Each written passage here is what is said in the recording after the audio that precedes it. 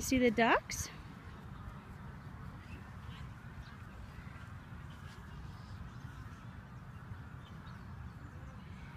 Here we are at City Park. Josie's one and a half. Not one and a half at all. Twelve and a half months, rather. I'm getting close to 13 months here. Loves to walk.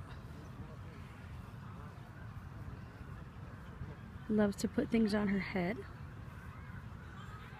Likes to brush her hair, even though she has none. Loves books. Loves books. More than... Kaboom! Kaboom! She... What else does she love to do? She's starting to try to say some words. Josie, can you say cup?